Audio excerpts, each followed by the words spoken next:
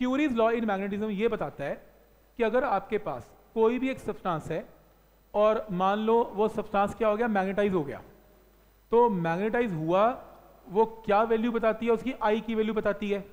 तो ये ऑब्जर्वेशन है कि कोई सब्सटेंस कितना मैग्नेटाइज हुआ, वो inversely proportional to temperature of body पे डिपेंड करता है। जितना हाई टेम्परेचर होगा सब्सटेंस उतना ही कम मैग्नेटिक होगा।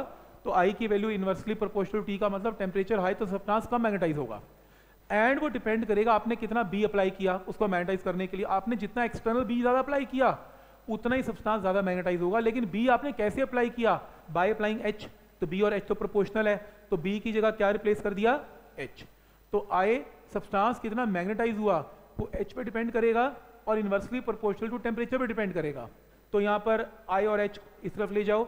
आई और एच क्या होता है? काय काय ससेप्टिबिलिटी तो काय इन्वर्सली प्रोपोर्शनल टू टेम्परेचर काय क्या बताता है? काय भी तो यही बताता है कि सब्सटेंस कितना मैग्नेटाइज है या उसका नेचर क्या है। जितना काय ज़्यादा होगा, वो फेरो होगा, उतना ही वो मैग्नेटाइज ज़्यादा होगा।